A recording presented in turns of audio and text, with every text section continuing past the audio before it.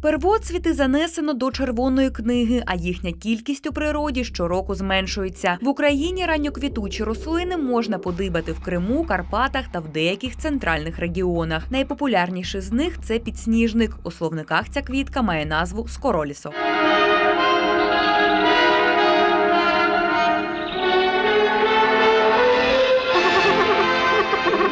Утім, червонокнижний первоцвіт це не тільки скороліски.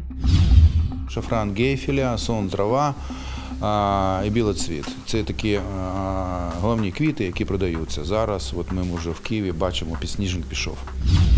За даними екологів, у столиці щосезону продають майже мільйон усіх первоцвітів. У підземці та на зупинках транспорту вже пропонують перші весняні квіти. Незаконно везуть до Києва переважно з Карпат.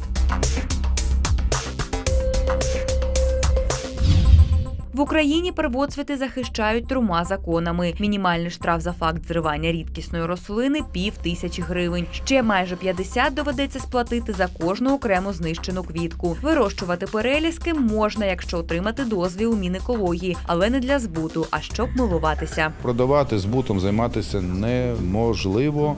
Це заборонено. Букетик е, там 50 квітів.